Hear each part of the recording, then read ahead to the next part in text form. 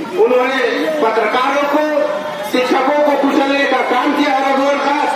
इसकी कई शब्दों में निंदा करते हुए हम सब उन शिक्षकों के साथ खड़े हैं और उनके आंदोलनों में हम भी आंदोलन करते हुए और बहुत बहुत धन्यवाद।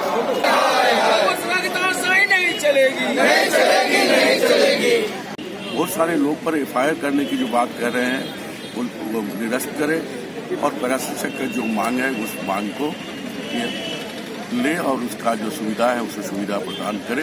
इसी के लाज पर धरना प्रदर्शन हम कर वर्तमान सरकार में सिर्फ़ पैरा शिक्षक ही नहीं, आंगनबाड़ी सहायिका, सेविका एएनएम रसोईया सारे लोग आज धरना प्रदर्शन में खड़े हुए और जिस तरह बर्बरता पूर्वक लाठी चार्ज कराया और उनको जानलेवा हमला हम कह सकते हैं, इस तरह का घृणा कार्य किया है जैसे कि अंग्रेज़ों के जमाने जनरल डायर ने जलियावाला बाग में जो गोली चलाया था इस तरह का कार्य किया है।